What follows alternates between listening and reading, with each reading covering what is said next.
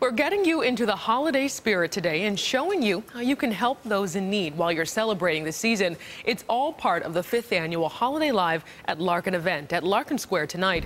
That's where News 4's Katie Alexander is live. Katie, what can people expect tonight? Well, Brittany, setup has been underway here at Larkin Square throughout the day today. And between 5 o'clock and 8 o'clock this evening, we're expecting about 1,500 people to come out here to this weather protected boardwalk area to get in on all of the holiday fun.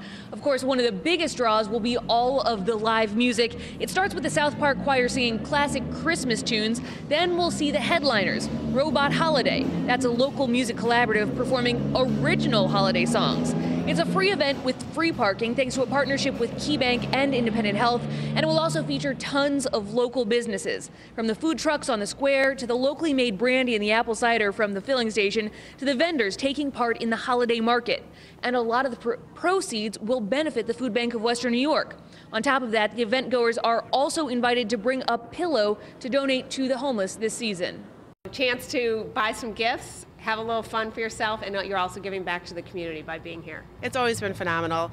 Sometimes the weather can play a part, both positively and negatively. If it's too cold, people may not want to come, but if it's a great night tonight, we expect a, a great crowd.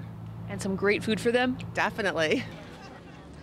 Again, though, whatever the weather is today, you should be in good shape here. Crews have brought in industrial heaters for this boardwalk area, and there will be other heaters set up out on the square near the food trucks to keep everyone warm. You can find the full event details on our website, WIVB.com. Just go to the Founded on 4 section. Reporting live in Buffalo, Katie Alexander, News 4. Thank you, Katie.